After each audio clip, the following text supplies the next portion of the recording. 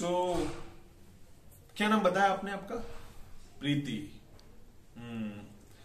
Miss प्रीति आप अपने इस चेहरे के पीछे एक और चेहरा लगाकर घूमती है उसकी असलियत बता सकती है? जी चिल्ला के बात मत कीजिए मुझसे। जब विक्टिम का मर्डर हुआ तो वो चीखी होगी चिल्लाई होगी। तो आपको उसकी आवाज़ क्यों नहीं सुनाई दी? आपके नीचे के फ्लोर वालों को सबको सुनाई दी ऊपर के फ्लोर वालों को भी सुनाई दी। उनको लगा कि कहीं पे टीवी ऑन है, उसकी आवाज़ आ रही है, लेकिन आपको सुनाई नहीं दी। क्यों? आपका फ्लैट तो उसके बगल में। फिर आपको आवाज़ क्यों नहीं सुनाई दी? आप बोल रही है कि आप चार बजे नींद की गोली लेकर सो गई। आपको दोपहर में नींद की गोली लेकर सोने की क्या ज़रूरत है?